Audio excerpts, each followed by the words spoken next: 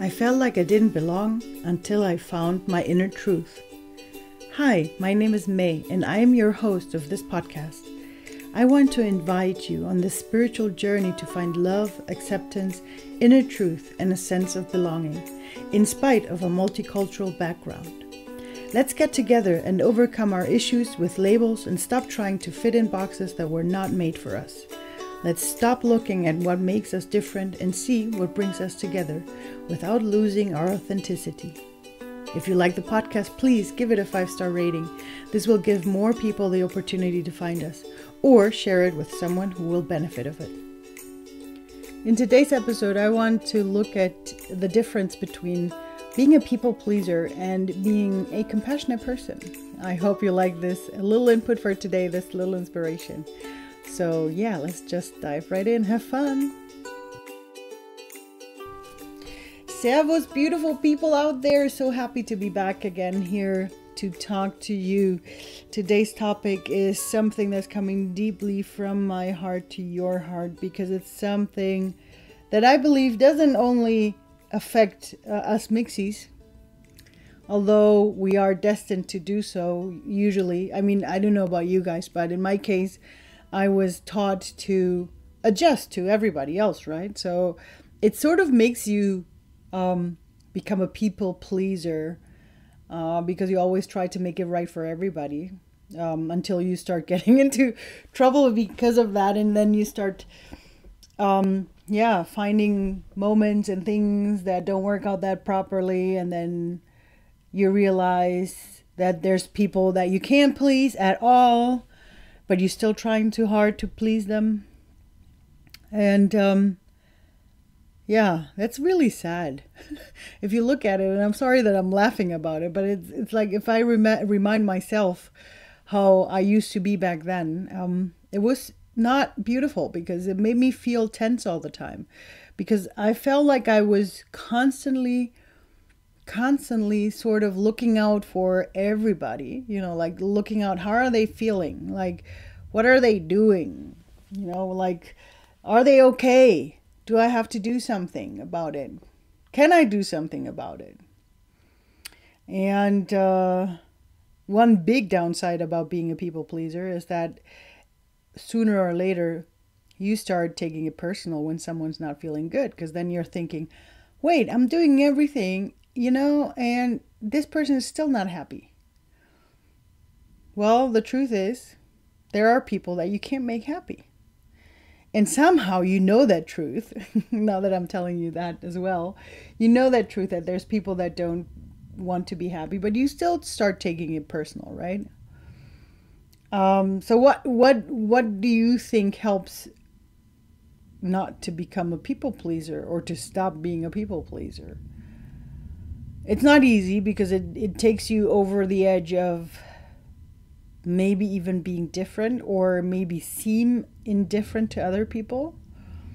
And it's not that you don't have, I think there's a huge difference between still being able to be compassionate with others, but not being a people pleaser.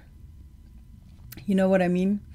Um, and one of the biggest sentences that I got actually from a therapist um, that made me really go, oh my God, with myself about it was um, when I was talking. I don't know. I, I don't know what I was telling her or what, what we were talking about.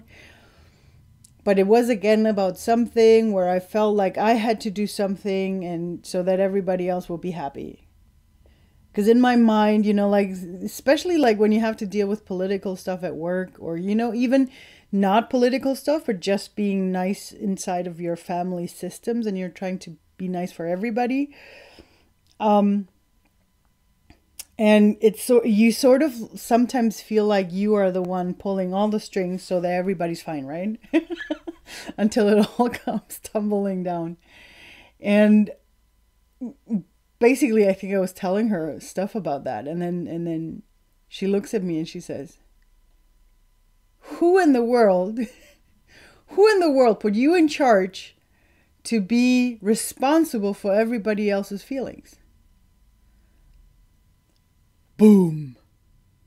right? That hits you right in the gut. It's like, oh my God. Oh my God. That's so true. Who put me in charge? I don't know. Well, I apparently I did at some point. uh, I apparently I did at some point put myself in charge for it. Now I think I'm in charge for everybody. Mm, but in truth, everybody is in charge for themselves. So what what what am I doing here, you know? Okay, on one hand, again, everybody knows and I guess you probably know too, you can't make everybody happy and then there there will be people that you won't be able to make happy. But and that's a, that's the part where being a people pleaser becomes a really an illness, I would say, is when you start taking things personal and you think you're the one responsible for everything. And I don't know about you because I mean, I'm not your therapist and I'm not telling you like my therapist told me back then. But if you just take that sentence in and look for yourself, like, where am I trying to please everybody or where am I ta- taking responsibility for something? Whew, that's a strong one.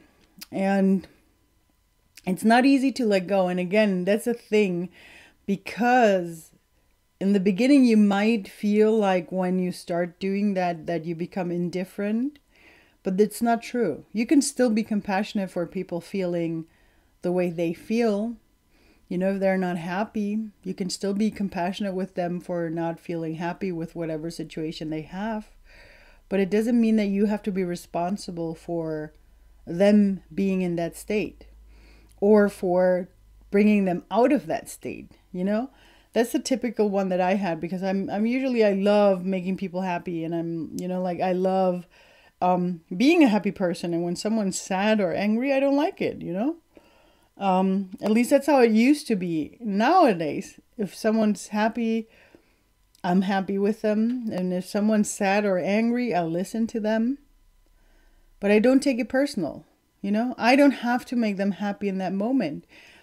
And again, who am I to be responsible in that moment if it's not even my responsibility? Because most of the time, if come on, be be honest with yourself. Most of the time, if you look at the situations, it's not your fault. You know, it's not your fault. So why are you taking responsibility for it? And um, and then you're trying to help that person because you want that person to be happy, and you don't realize that that person needs their own space and time to maybe come crawling out of whatever state they are right now. And it's not good to compress your emotions, you know, to to bottle them away into other places. So you want people if they're angry, you want them to be angry right now. If that's the emotion that they have to go through, allow them to be there. Don't take that space away because again, who are you to take away that space from them, right? You wouldn't want anyone to take that space from you. And again, that's also something for yourself. If you feel angry at one point, it's allowed. You're allowed to to be angry in that moment. Um and we often hold back because we think we again we have to please someone else. And we don't. We that's the thing. We're not responsible for that. And if you have an anger moment, then you have to live through that anger moment. If you and if you're in a sad moment, you want to live through that sad moment, you don't want to bottle it away, you don't want to put it somewhere else, you just want to be in whatever moment you are. And um, yeah, just don't, you know, like don't don't bottle it away or don't suppress things just to please someone else. Because you're neither helping them or yourself. And that's the thing about you know, the difference between being a people pleaser and being compassionate, being real compassionate. It's not taking responsibility for things because you can be compassionate without being responsible. And uh, yeah, I hope you can you can find that for yourself and how that can help you be a compassionate person instead of a people pleaser. Um, yeah, with these words, I want to put give you sent you into this week. Today we're having a portal again that is reminding us to trust. So trust in the process, trust in the system. Like I trusted myself that if the podcast didn't want to go out yesterday, it wanted to come out today, so it's coming out today. And I hope it's fun with you guys as well. Sending you a big thank you very much for tuning in again. Hope that you can be a compassionate person and not instead of a people pleaser. And um, let go of that responsibility. Thank you again for tuning in and have a great, great week for yourself into the Easter, big Easter weekend next weekend. So, um, yeah, have a wonderful week. Bye, everybody. Servus.